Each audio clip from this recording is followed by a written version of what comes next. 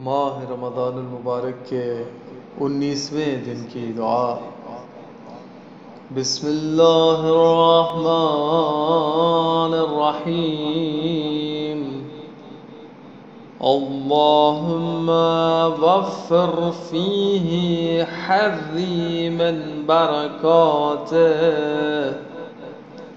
وسهل سبيلي إلى خيراته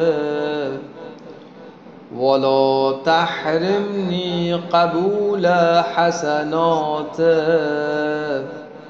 يا حاديا على الحق المبين.